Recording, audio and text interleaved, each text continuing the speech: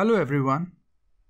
In this video we will learn how to create a new page in the Power BI desktop. So I've uploaded a file onto GitHub. Um, I'll post a link, I leave a link to this repository in the video notes so you can grab this file. It's called add a new page in Power BI.powerbi pbix.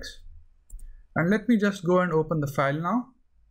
And as you can see, it gives me the sales by geography so I could change the page name to um, sales by geo and hit enter.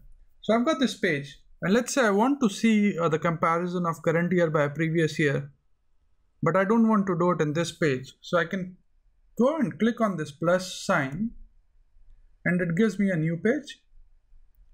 And what I will do is I've got, uh, I'll go to the fact internet sales and I will select sales amount and I will select previous year sales amount which is uh, something I've already created.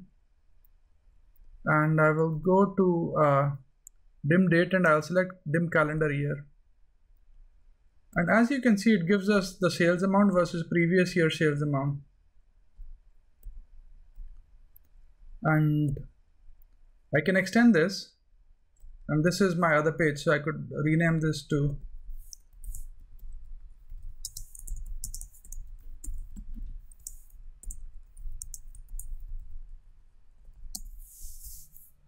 So we've uh, created two different pages for two different purposes here. One is sales by geography.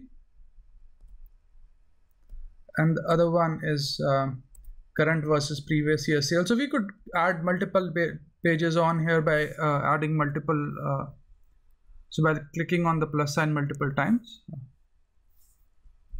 So in this video, we learned how to create multiple pages in the Power BI desktop. Um, and uh, depict different visuals on different pages. I hope you find this video useful and thanks for watching this video. Please do subscribe to my channel if you enjoy what I'm doing. That would be great.